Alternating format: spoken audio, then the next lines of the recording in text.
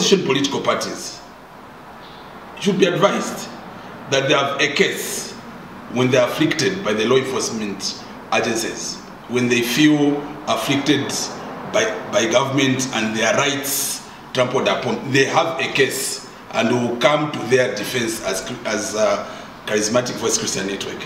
But now they spoil their case when they fail to hold the PF in opposition now to account.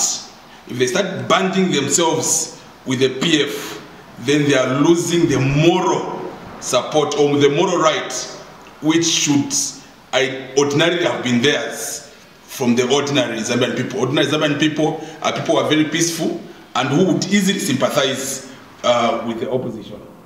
But they spoil their case the more they try to rally around uh, former PF uh, members. Our advice to the PF is that may they apologize to the Zambian people for the atrocities they committed.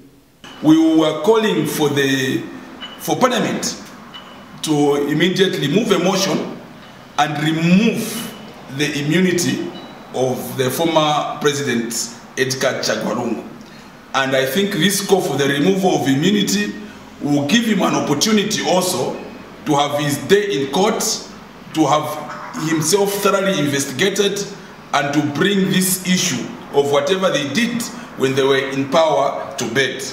I think it's very disheartening that we saw a number of his uh, uh, cadres, ministers, flouting a lot of wealth in public space.